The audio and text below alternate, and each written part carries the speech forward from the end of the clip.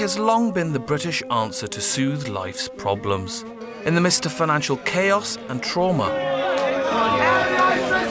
and even war. Okay, lads, we're going to move down now and get the tea. There's always a cup of tea.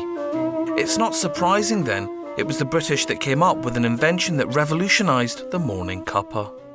Ladies and gentlemen, I ask you to raise your cup to the great British Teasmade. 19th made was such a remarkable invention, it's found its way here, into the Science Museum. Yeah. They have an exhibition that's a treasure trove for all Teasmade anoraks. Museum curator Rob Skidmore is the biggest of the lot. One of the earliest ones was actually patented in 1902. It was clockwork, which meant that you set the time for when you wanted your cup of tea. Uh, a spring would strike a match, which would light the spirit burner, that would go underneath the kettle, slowly boil the water. As the water boiled, the kettle would rise. You could see it tips forward, pouring the boiling water into your cup of tea, which would put out the spirit burner and then ring a bell to wake you up. This one here is the original prototype made by William Brenner Thornton, who actually went on to devise all of the Teasmades in the early days made by the Goblin Company. These early Teasmades were luxury items costing more than an average weekly wage. But for years, they were wildly popular. Now they're teetering on the brink of extinction.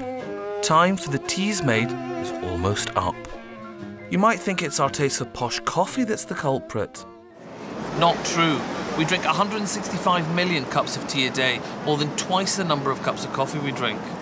No, I have questions for you, my friends, but luckily I know a woman that's got answers. Answers and lots and lots of Teasmades.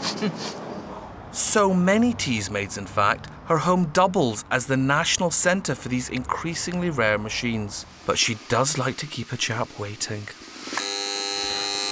tea! Tea's made! Tea's ready! Sheridan, it seems only good, right, and proper we have tea as we talk about. I think it's safe to say your obsession. I think it Teasmade. Sorry about that, but yes, I am obsessed. Why? Um, it started kind of by accident. My ex-husband didn't want me to have a Teasmade. He said they were too big, too noisy. So I was feeling rebellious one day and I decided to buy one. And then I saw another one, it was slightly different, and I thought, oh, I'll have one of those as well. And now I've got about 150, so Shall I see which one my dad had? I got. I'm, I'm very emotional about this. Forgive me, but that's the one my dad had.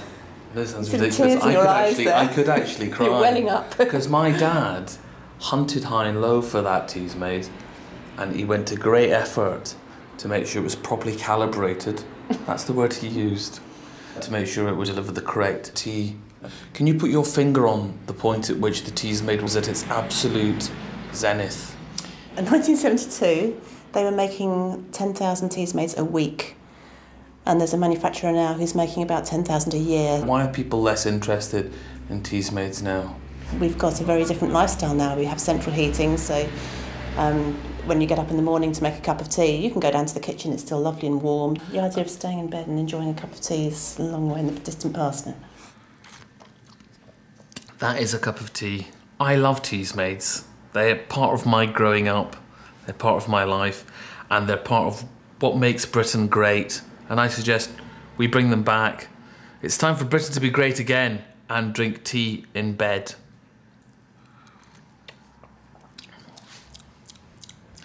This does taste a bit funny, actually.